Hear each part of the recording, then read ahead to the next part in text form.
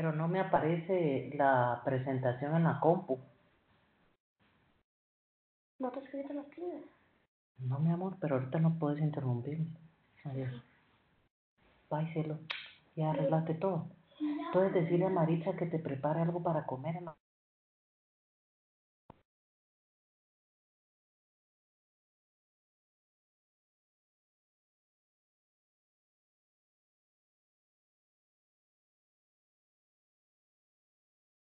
Sí, licenciada, sí se le escucha bien claro.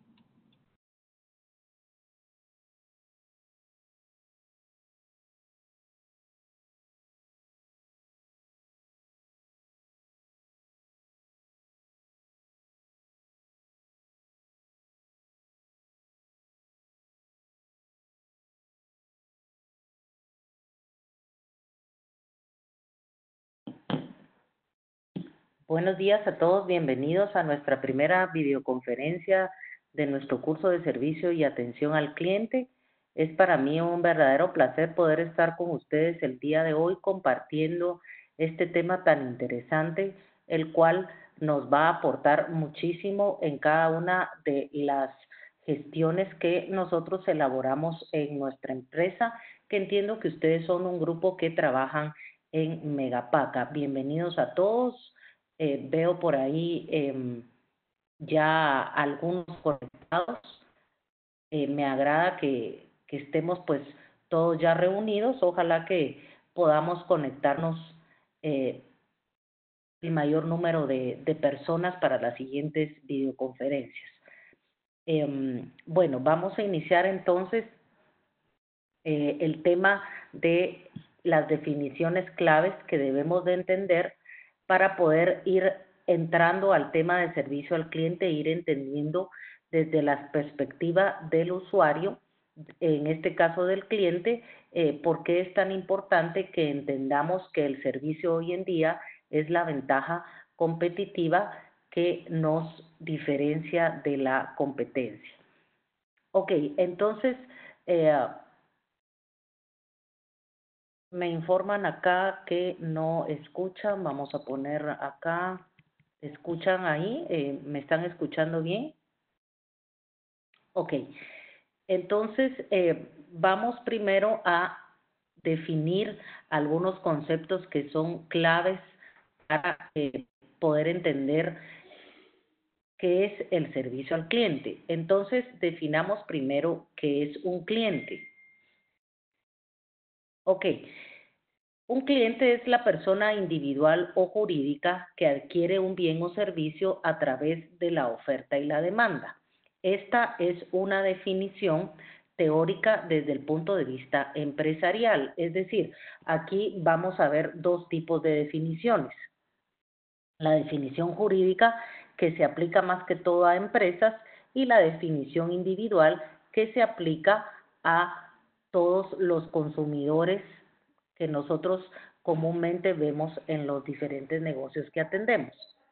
Entonces, desde el punto de vista jurídico, el cliente tiene una representación jurídica, es decir, una patente de comercio o una patente de empresa que lo respalda como eh, un comerciante, ¿verdad? Que vende y compra productos y por lo tanto adquiere un bien o un servicio a través de la oferta y la demanda.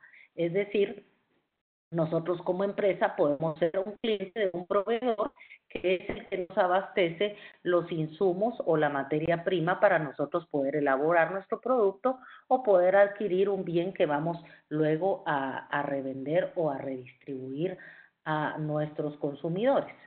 En este caso, nosotros nos convertimos en un cliente. ¿Verdad? Y también cuando somos un, una empresa, podemos jugar el papel de proveedor, es decir, nosotros somos quienes atendemos a nuestros clientes. Por lo tanto, desde el punto de vista de empresa, podemos estar en cualquiera de las dos posiciones, ¿verdad? Siendo nosotros un cliente o atendiendo nosotros a nuestros clientes como un proveedor. Pero también existe la definición individual de cliente, que es toda aquella persona que necesita satisfacer una necesidad potencial. Es decir, cuando nosotros como clientes llegamos, por ejemplo, a un restaurante, eh, porque eh, tenemos hambre y queremos comer algo rico, pues entonces nosotros nos convertimos en ese cliente de esa empresa, el cual va a ser atendido satisfactoriamente. Por lo tanto, si nosotros tenemos una necesidad potencial que satisfacer, entonces podemos llamarnos un cliente de cualquier empresa que nos ayude a satisfacer esa necesidad. ¿Verdad? Ok. Entonces, si nos ponemos a pensar en estas dos definiciones que acabamos de compartir, tanto la jurídica como la individual, es decir, tanto la definición de empresa como la definición de cliente individual, llegamos a otro concepto muy importante que es el mercado. El mercado es un lugar donde se desarrolla la compra y venta de mercadería, es decir, la oferta y demanda de producto. Entonces, para que existan clientes y existan proveedores, es decir, consumidores que adquieren nuestros diferentes productos, debe existir una oferta, la cual está determinada por la cantidad de empresas que ofrecen un producto similar al que yo vendo. Si yo soy una venta de ropa, pues yo dentro de un mercado ofrezco ese tipo de producto, que en este caso es ropa, ¿verdad? Entonces van a haber varios competidores que van a ofrecer lo mismo. Por lo tanto, el cliente va a tener una oferta muy amplia de los mismos productos, pero de nada nos serviría eh, pues tener un negocio y ser parte de una demanda, de una oferta dentro de un mercado si no existe la demanda. ¿Y la demanda quién la hace? La hace el cliente. Entonces, ese equilibrio entre oferta y demanda es lo que llamamos nosotros un mercado, ¿verdad? Un mercado competitivo en el cual pues nos vamos a pelear todos los que ofrecemos un mismo servicio o producto para poder satisfacer esa demanda. ¿Y qué es lo que vamos a pelear? Pues ese cliente, ¿verdad? Ese cliente que está potencialmente necesitando ser abastecido o ser atendido por el producto que nosotros vendemos o distribuimos y el cual yo quiero que se quede conmigo y no que se vaya con la competencia. Entonces, para poder captar a ese cliente y que ese cliente decida quedarse con mi empresa, pues yo debo ofrecerle una serie de ventajas. ¿verdad?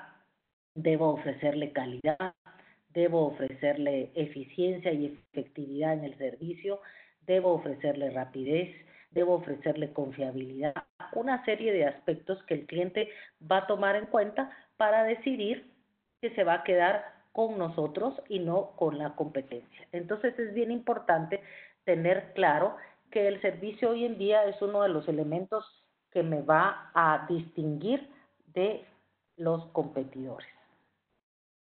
Ok. Vamos a analizar también los diferentes tipos de clientes. ¿verdad? Nosotros tenemos que tener claro que en el mercado existe una infinidad de tipos de clientes. Y cuando nosotros atendamos nuestro negocio, pues nos vamos a encontrar con una serie de clientes diferentes y tenemos que aprender a atender a cada una de ellos con sus diferentes necesidades. Entonces, eh, vamos básicamente a definir acá dos tipos de clientes. Aquel, perdón, tres, tres tipos de clientes. El cliente comprador, que es aquel cliente que consume una o dos veces nuestro producto y no lo hace de forma regular. Es decir, aquel cliente impulsivo que, eh, que sale, se mete a un local, a un negocio, se mete a internet y dice, ay, me interesa lo que están vendiendo aquí, eh, entra, compra, pero pues así va de lugar en lugar, de local en local, de sitio en sitio, y al final no es fiel a ninguna empresa en particular, ¿verdad? Por lo tanto, hoy nos puede estar comprando a nosotros y el mes siguiente le compra a otra empresa. Es muy normal que los consumidores actuemos de esa manera, porque siempre vamos a estar buscando satisfacer nuestras necesidades y nos vamos a ir por la empresa, pues donde nos atiendan con mayor rapidez, donde nos den un mejor precio, donde nos den descuentos, donde haya variedad de productos. Entonces, eh, la clasificación de cliente comprador es muy común que suceda y, puede que la mayoría de nuestros clientes caigan en esa clasificación. También hay un cliente denominado cliente normal, que es aquel cliente que utiliza nuestros productos o servicios, pero ya lo hace de una manera constante. Y muchas veces regresa a nuestro negocio y su satisfacción pues es buena, ¿verdad? Perdón. Si le pedimos que nos evalúe eh, como proveedores, pues nos va a calificar como, como buenos. No hemos llegado al nivel de excelentes, que es lo que realmente nos interesa, pero nos va a calificar como buenos y si nosotros somos su opción eh, más, más cercana, puede ser que nos siga buscando a nosotros porque le parece nuestro servicio, le parecen nuestros productos, eh, le quedamos en el camino de, de su trabajo, de, de, su ruta diaria y entonces pasa por ahí y entra. Pero en el momento en el que se le atraviese alguna otra opción o otra posibilidad, pues corremos el riesgo de que este tipo de cliente también nos, nos sea infiel, ¿verdad? Y se vaya a otro negocio. Esa es la segunda clasificación. Y veamos ahora la tercera clasificación de clientes que realmente es la que todos deberíamos de buscar y la que nos interesa eh, desarrollar, que es el cliente animador. ¿Y por qué le llamamos animador? Bueno, porque este cliente, primero, su recurrencia de compra es permanente. Es decir, este cliente nos es fiel, ¿verdad? No importa dónde estemos nosotros ubicados, a dónde nos vayamos, si hay mucho tráfico para llegar a nuestra empresa o a nuestro negocio, el cliente siempre nos va a buscar, ¿verdad? Su compra es permanente y somos su primera opción, ¿verdad? Nos va a remitir también con nuevos clientes, es decir, este cliente está tan satisfecho con nuestro servicio que nos va a remitir a otros clientes nos va a recomendar, va a hablar, a hablar bien de nosotros, porque su experiencia ha sido satisfactoria. Ha recibido un muy buen servicio, le hemos atendido a tiempo, le hemos resuelto sus dudas. Él ve que las personas que trabajamos ahí conocemos muy bien la empresa y se siente cómodo. Entonces esta persona pues remite a nuevos clientes. También es una persona que en cualquier momento puede acudir a nosotros por un consejo o una ayuda si tuviera alguna duda, algún inconveniente eh, que pudiéramos nosotros resolver, vamos a estar seguros que este tipo de cliente va a buscar nuestro consejo y nuestra ayuda para poder resolver su necesidad. ¿verdad? Habla bien de la empresa y de sus productos porque ha tenido la experiencia y los ha utilizado. ¿verdad? ha, sido vivencial su experiencia. Es decir, él habla por, por la experiencia que ha tenido con nuestra empresa, la cual ha sido muy buena, y eso le permite compartir esas buenas experiencias eh, con sus compañeros, con sus familiares, con sus amigos, ¿verdad? Y muchas veces ese, ese recomendar de boca en boca, pues nos ayuda mucho para incrementar las ventas. Entonces, este cliente animador se traduce en un cliente fiel, ¿verdad? Por eso si ustedes ven ahí la parte eh, derecha de su diapositiva, dice que lo que debemos de buscar es fidelizar a nuestros clientes, ¿verdad? Y eso nos va a hacer crecer nuestro negocio. Es decir, si nosotros tenemos clientes fieles, nosotros vamos a incrementar seguramente las ventas. Por lo tanto, es muy fácil capturar clientes, ¿verdad? Captar clientes muchas veces nos es, nos es sencillo. Bueno, nosotros salimos, damos volantes, sacamos un anuncio, ponemos una valla y utilizamos cualquier medio de comunicación para que el cliente se dé cuenta que nosotros estamos en el mercado y que le podemos ofrecer un producto que está buscando. Lo difícil no es la captura del cliente, lo difícil es retener al cliente conservarlo, hacer que el cliente se mantenga en nuestro negocio y no busque ninguna otra alternativa. Y si nosotros lo, logramos esa retención, entonces estamos logrando fidelidad. Y desde el momento en que el cliente nos es fiel, eso se va a traducir en un incremento en las ventas, ¿verdad? Y va a hacer crecer nuestro negocio. Ok. ¿Dudas o preguntas hasta el momento? ¿Estamos claros con los tres tipos de cliente? Comprador, cliente normal y cliente animador. ¿Alguna duda con este tema o estamos claros? Ok, estamos claros. Entiendo entonces que si no hay ninguna observación es porque está claro el tema. Entonces ahora definamos el servicio, si ya definimos el cliente, para luego unir los dos conceptos. Entonces, ¿qué es el servicio? Tenemos que tener claro primero que los servicios tienen ciertas características. Estos no tienen consecuencia, perdón, tienen consecuencia y no forma. ¿A qué me refiero con ello? Que si un servicio es bueno o un servicio es malo, eh, no lo podemos eh, ver como tal, ¿sí? No podemos decir que es bueno o es malo porque es cuadrado, porque es largo, porque es chiquito, porque es fuerte, porque, ¿verdad? No tiene ninguna forma. Pero ¿por qué sí tiene consecuencia? Porque si el servicio es malo, nos va a traer una consecuencia negativa a la empresa y eso significa baja en las ventas. Y si el, el servicio es bueno, también nos va a traer una consecuencia positiva, que es lo contrario, ¿verdad? Nos va a hacer incrementar nuestras ventas.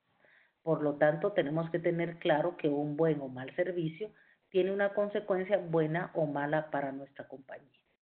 ¿Verdad? Es intangible, los servicios al no tener forma, pues tampoco se pueden tocar, ¿verdad? No los podemos ver, no los podemos eh, observar. Requieren de una total comunicación entre los diferentes departamentos de la empresa. Eso es clave, es un elemento muy importante del tema del servicio. Es decir, en las empresas no solamente el departamento de ventas o el call center o, recepción o, servicio al cliente tiene la responsabilidad de ofrecer un servicio de calidad. ¿verdad? El que la empresa ofrezca un servicio de calidad excelente a sus clientes es responsabilidad de todos en la organización. Por lo tanto, si es responsabilidad de todos, debemos de tener una total comunicación y coordinación entre todos los departamentos, porque yo puedo tener claro el tema del servicio y hacer mi mejor esfuerzo por ofrecer un servicio de calidad, pero si los demás departamentos no contribuyen, a los demás departamentos no les importa la satisfacción del cliente, va a ser muy difícil ir contracorriente y yo, yo solo lograr eh, esa meta, ¿verdad? Entonces es una meta en común, es una meta en equipo se ejecutan y no se fabrican. Es decir, el servicio no es un producto que se pueda eh, vender y fabricar. ¿verdad? El servicio depende única y exclusivamente del personal. Por lo tanto, tiene mucho que ver con nuestro carácter, nuestras actitudes, eh, nuestra manera de, actuar y de, de comportarnos eh, en la empresa. ¿verdad? Es, el tema del servicio es algo totalmente relacionado con el recurso humano no con la producción ni con la materia prima. Ok, requiere de personalidad y de un alto grado de relaciones humanas, que era lo que les decía hace un momento. Si yo soy una persona que tengo eh, claras eh, mis principios, mis valores, eh, sé que un cliente lo que busca es apoyo, respeto, acción, resolver, pues me va a ser más fácil prestar un servicio adecuado. Pero si yo tengo una personalidad en la cual pues me importa la verdad poco lo que piensen los demás, si el cliente se fue satisfecho o insatisfecho, pues no será mi problema. Y tengo una actitud eh, um, un poco pues uh, desagradable, eh, poco colaboradora, esto no me va a servir ni me va a apoyar en nada el tema del servicio. No hay producción de servicio sin la participación del cliente. Es decir, el cliente es el elemento principal para que el servicio suceda. Si nosotros no tenemos a un cliente a quien atender, pues obviamente no vamos a poder dar ningún servicio. Y en resumen, podemos decir que cuando yo logro una venta y logro cerrar una venta, después de una ardua tarea de convencimiento para que el cliente me adquiera el producto o servicio que yo estoy ofreciendo, es porque estoy dando un servicio de calidad. ¿verdad? Generalmente las ventas que han sido respaldadas por un buen servicio tienen éxito. y los clientes nos van a comprar. Pero si el cliente eh, se ve mal atendido desde el principio, ¿verdad? Lo estamos tratando sin interés, él nota que nosotros no estamos eh, sintonizados con su necesidad, pues puede que cerremos la venta, pero no necesariamente por un buen servicio, sino porque la necesidad del cliente era tal y no encontraba el producto que no le quedó más que comprarlo en nuestra empresa. Pero ¿qué va a pasar? Seguramente ese cliente ya no va a regresar, ¿verdad? Eh, a nuestra compañía porque su experiencia no fue satisfactoria. Ok, entonces, eh, definamos también qué tipo de servicio es el que nosotros queremos darle a nuestros clientes. Deberíamos de pensar en que nuestros clientes deben de recibir un servicio excelente, no bueno, sino un servicio excelente. Por lo tanto, el servicio es excelente es aquel que ofrece un nivel tal de calidad en el servicio que comparado con el de los competidores es tan alto a los ojos de los clientes que le va a permitir a la organización percibir honorarios más altos, lograr una participación en el mercado extraordinaria, fuera de lo normal, y por lo tanto disfrutar de márgenes de utilidad altos, inclusive más altos que nuestra competencia. Entonces, si mi empresa se enfoca en dar un excelente servicio al cliente, vean todos los beneficios que vamos a obtener.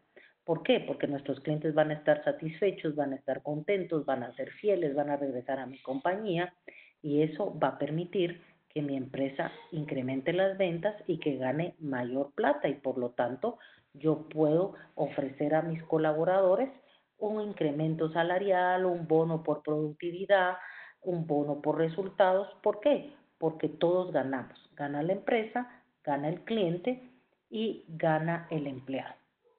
De eso se trata, que ganemos todos. ¿Dudas, preguntas hasta el momento? ¿Está todo claro? ¿No hay ninguna duda? Ok. Entonces, eh, continuemos. Si ya tenemos claro qué es el servicio y ya tenemos claro qué es el cliente, entonces definamos ahora qué es servicio al cliente es aquel que satisface de manera real o percibida la necesidad de un cliente de una forma consistente y confiable. Eso es el servicio al cliente.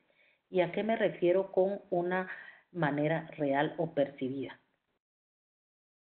Veamos, dice, real o percibida es importante aclararlo porque la forma en que la empresa percibe el servicio que nosotros estamos pensando realmente es lo que menos importa en este caso, ¿verdad? Lo que interesa es cómo lo percibe el cliente.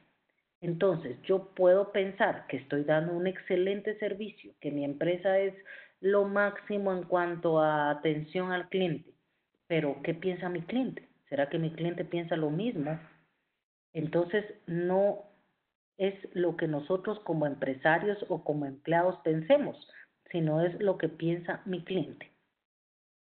Si mi cliente está de acuerdo y dice, sí, la empresa ofrece un excelente servicio al cliente, bueno, entonces ya me puedo yo sentir tranquila y ver qué hago para mantenerlo o mejorarlo.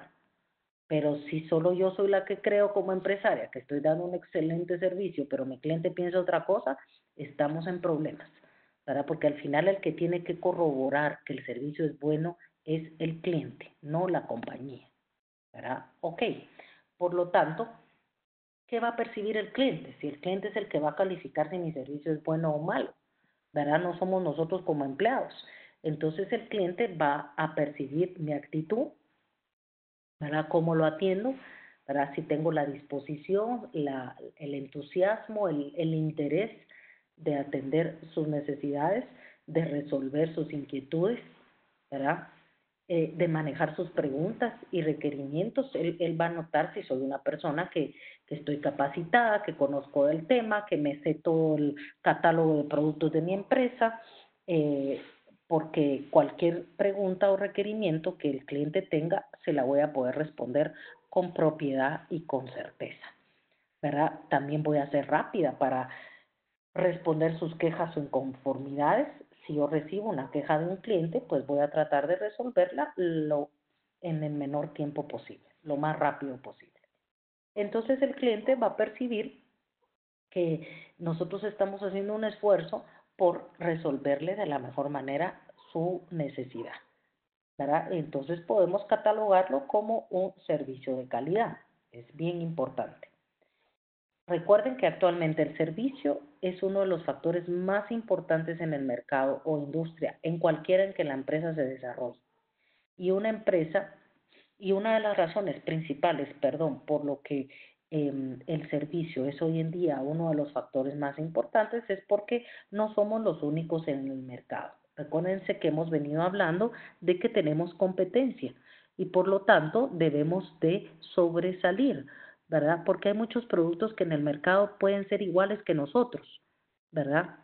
Y en ese campo de batalla en el cual nosotros estamos, pues el servicio va a ser uno de los factores que me va a diferenciar de mi competencia y va a hacer que mi cliente me prefiera a mí y no a la competencia. Entonces es bien importante que nosotros tengamos eso claro, porque si yo trabajo en la megapaca, pues seguramente eh, ustedes han de tener competencia, ¿verdad?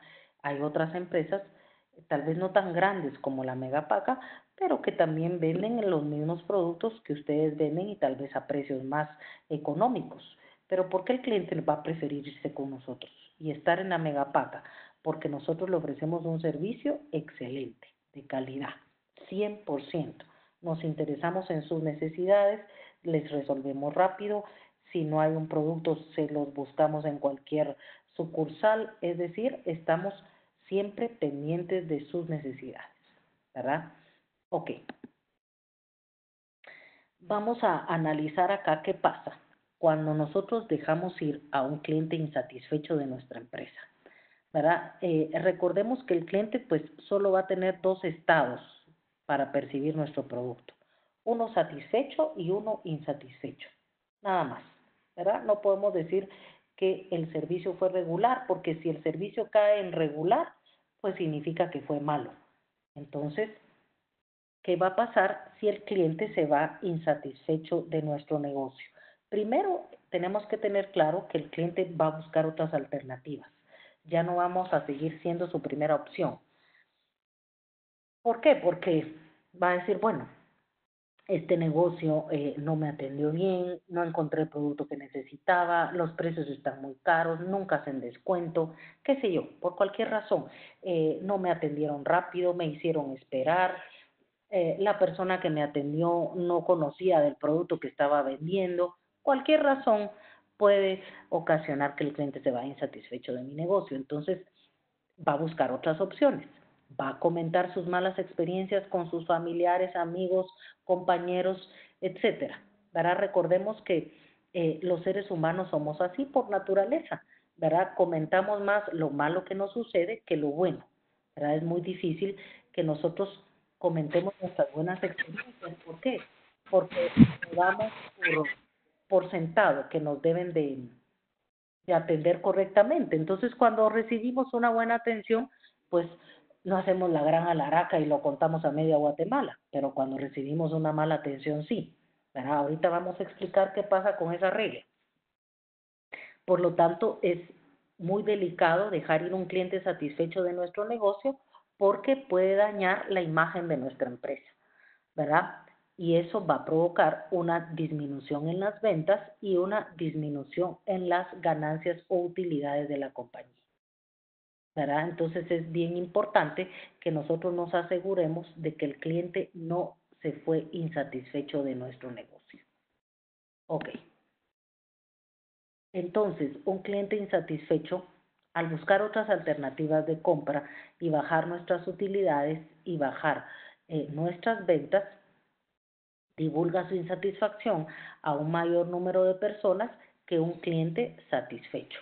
¿Verdad? Y ese análisis o ese estudio que se realizó en, en un mercado en diferentes, con diferentes números de clientes nos lleva a concluir en una famosa regla, que es la regla de Didonato, ¿verdad? Ustedes la van a escuchar en algún momento o no sé si la han escuchado con anterioridad. que es una regla eh, que está compuesta por, por dos frases. El cliente insatisfecho y el cliente satisfecho. ¿Cómo se comporta cada uno de ellos en sus acciones? Entonces, la regla dice que si dejamos ir un cliente satisfecho de nuestro negocio, ¿verdad? Y se va molesto de la megapaca porque no encontró lo que quería, porque no había ningún asesor que lo pudiera atender, porque los precios estaban muy elevados, porque el que lo atendió lo atendió mal, eh, porque los horarios no eran los adecuados y cuando él pasaba ya estaba cerrado, qué sé yo, cualquier razón que el cliente analice, ese cliente lo va a divulgar a 10 personas más como mínimo según el estudio que se realizó. Entonces, si multiplicamos ese cliente insatisfecho que salió de nuestro negocio por 10 personas, nos van a dar 10 clientes que se van a enterar directamente de la mala experiencia que ese, esa persona vivió en nuestro negocio. ¿Verdad? Él se va a dedicar a contarle a 10 personas lo mal que le fue en nuestra empresa. Mucha, no vayan ahí, fíjense que me atienden re mal, las personas son pesadas, la empresa está sucia, los baños son un desastre, siempre que uno pide algo no lo encuentra. Bueno, el cliente se va, como decimos, a descoser en comunicar su mala experiencia y lo va a hacer como mínimo a 10 personas. Y estas 10 personas se lo van a contar a 5 más cada una. Por lo tanto, si multiplicamos esas 10 personas que se enteraron directamente por ese cliente que salió de mi empresa insatisfecho, por esas otras 5, entonces van a ser 50 clientes que se van a enterar de manera indirecta que mi empresa ofrece un mal servicio. Que en mi empresa no hay los productos que se, que se buscan, que en mi empresa el personal atiende mal, que los horarios son inadecuados, que nunca se encuentra parqueo, que los baños son un desastre, que cualquier situación eh, en contra del cliente. ¿verdad? Entonces, vean lo, la, el efecto escalonado que, que sufre una insatisfacción de un cliente, ¿verdad? Em, se multiplica exponencialmente. Y eso es algo muy delicado para la empresa porque no debemos de permitir que eso suceda. Por el contrario, vean ahora qué pasa cuando el cliente sale de manera satisfecha. ¿verdad? Llegó a nuestro negocio, se le atendió con rapidez, encontró lo que buscaba, eh, los precios estaban acorde a sus expectativas, eh, solicitó el baño y se le prestó y el baño está vaciado, limpio y adecuado. El personal era muy amable, estaba totalmente capacitado en la información que le solicitamos. Fue una experiencia maravillosa. Él salió de nuestro negocio motivado y con deseos de, de volver. Sin embargo, según esta regla y según el análisis del comportamiento del consumidor, ese cliente que salió satisfecho solo se lo va a contar a dos personas, ¿verdad? A diferencia del cliente insatisfecho que se lo contó a diez este solo se lo va a contar a dos, ¿verdad? Por lo tanto, dos personas se van a enterar directamente por él porque dos por una son dos, ¿verdad? Entonces, dos personas se van a enterar directamente por él de la buena experiencia que tuvo en nuestro negocio. Y estas dos personas se lo van a contar cada una a una persona más, ¿verdad? Entonces, dos por una, dos, por lo tanto, dos clientes se van a enterar de manera indirecta.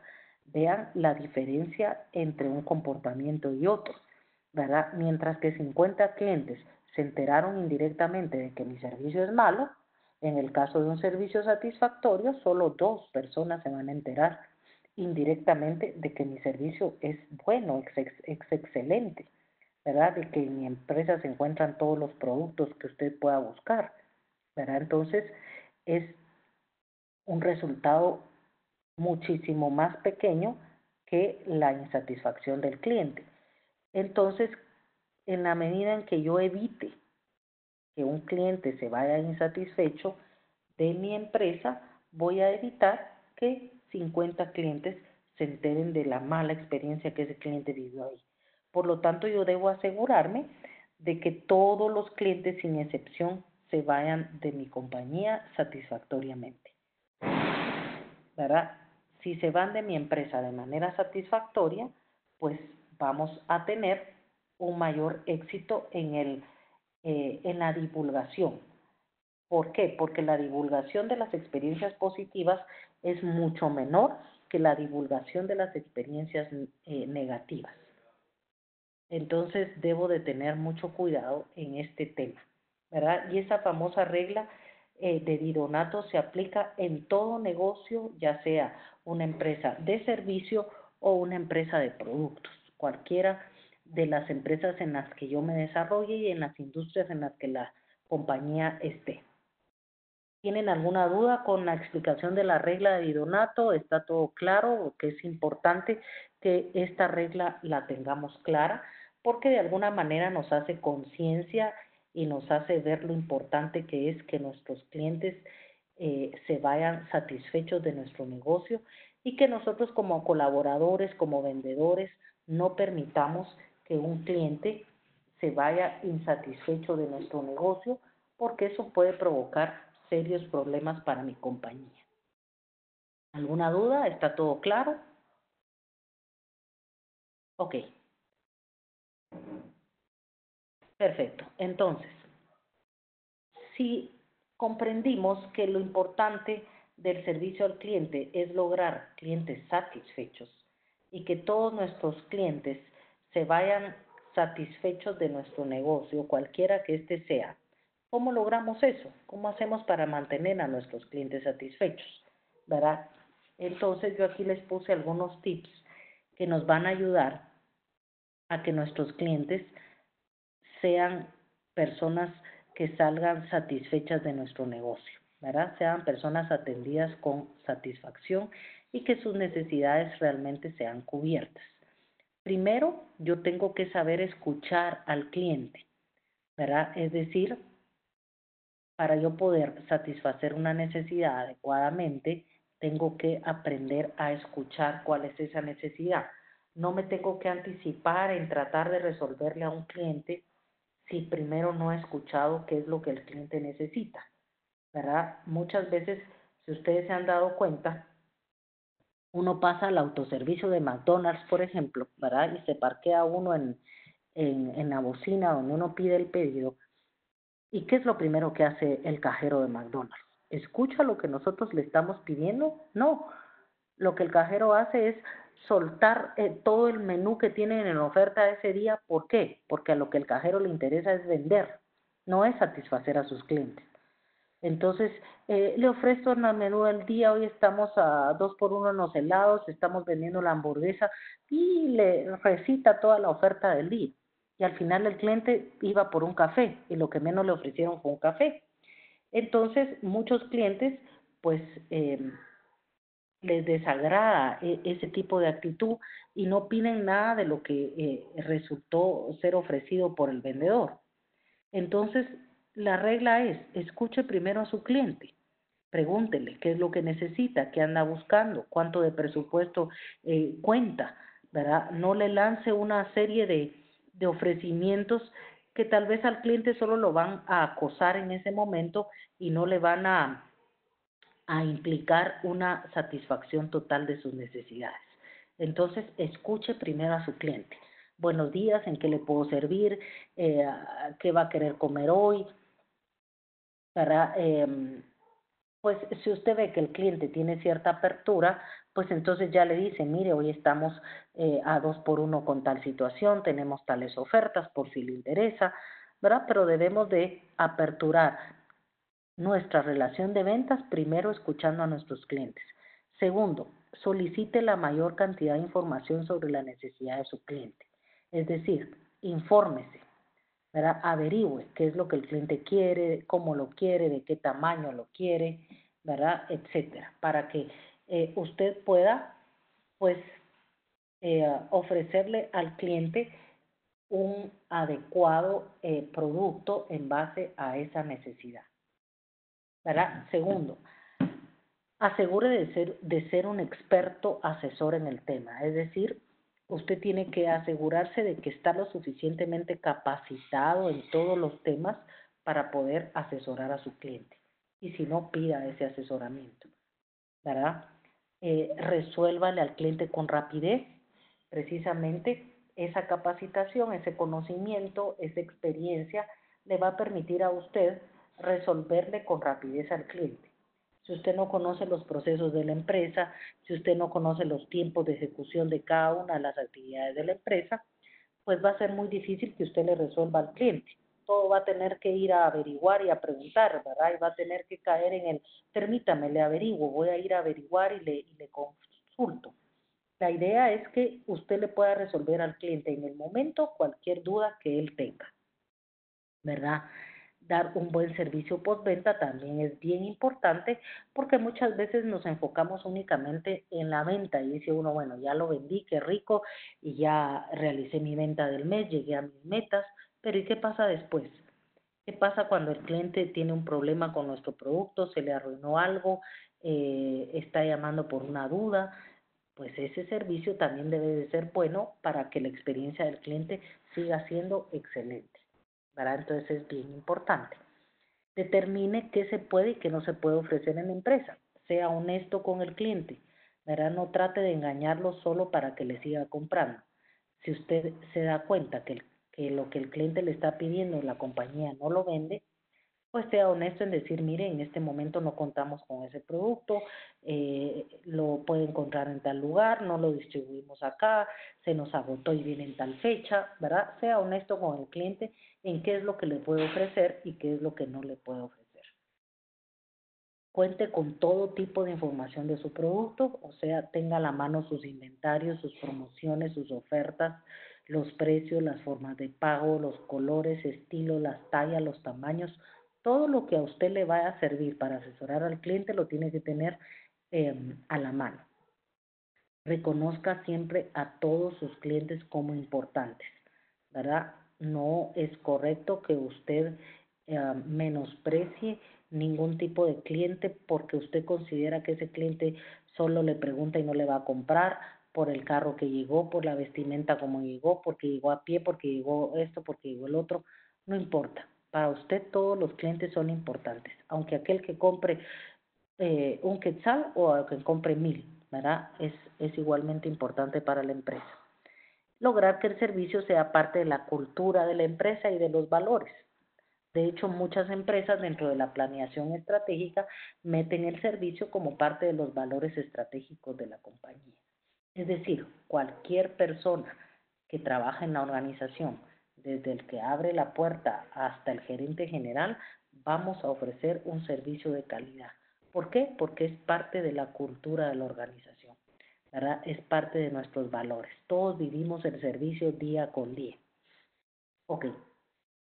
Por lo tanto, es clave, es importante tener nuevamente claro que el proporcionar un servicio de calidad a los clientes es responsabilidad de todos en la empresa no es responsabilidad únicamente de eh, las personas de ventas o del call center o del servicio al cliente. El ejemplo de una actitud de servicio debe iniciar siempre por los niveles más altos de la organización y descender hasta los niveles más bajos de la empresa. Es decir, si nosotros tenemos una junta directiva, un gerente general, un jefe, y esta persona no cree en el servicio. Lo que le importa es vender, vender y, y esté enfocado en los resultados, en los números, en las ventas, en los precios, eh, y el servicio no es importante, pues va a ser difícil eh, que el tema del servicio al cliente prospere, ¿verdad? Entonces, en los niveles más altos de la empresa son quienes deben de, de defender el tema del servicio al cliente y creer realmente en eso para que eso descienda hacia los niveles medios y bajos de la pirámide organizacional. ¿Verdad? Es bien importante. Ok, jóvenes, dudas, preguntas, eh, alguna observación de nuestra primera videoconferencia. Por mí es todo. Aquí termino el contenido de esta semana y los invito a que por favor se conecten la, la siguiente semana a la videoconferencia. Pude observar que al principio se conectaron un poco más, luego se, se desconectaron y solo quedaron dos personas conectadas en el tema. Recuerden que pues la videoconferencia es la oportunidad que ustedes tienen de compartir con el catedrático el tema y es pues muy valioso tanto para ustedes como para, para uno de catedrático la participación de, de la videoconferencia. Así que los invito eh, para que puedan conectarse la próxima semana. Yo voy a estar revisando los foros y las tareas en estos próximos días para poder enviarles la nota.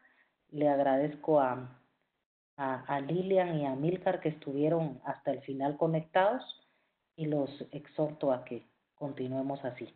Así que les deseo una feliz mañana, que tengan éxito en el resto de la semana y cualquier duda pues estamos ahí siempre comunicados a través del chat en, en el WhatsApp. Un gusto poderlos conocer el día de hoy. Les deseo feliz día.